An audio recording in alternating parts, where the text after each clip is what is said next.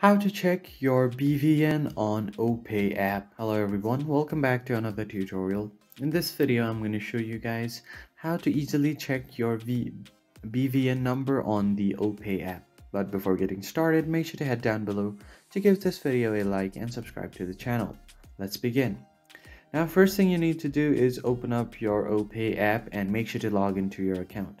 Now in order to check your BVN, all you need to do is head over to your profile once you've logged in and on your profile you will have your account information and right under there you will see your BVN but you will not be able to see your complete BVN it will be um, uh, blurred out with uh, asterisks. So in that case what you want to do is just uh, go ahead and open up your phone's dialer and once you get to your phone's dialer, you just need to type in your code asterisk 565 and then hash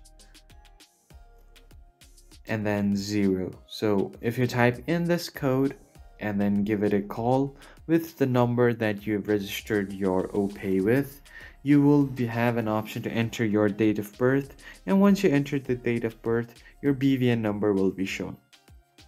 So that's how you get your BVN number on OPay app. If you found this helpful, hit the like, share and subscribe button. I will see you on the next one.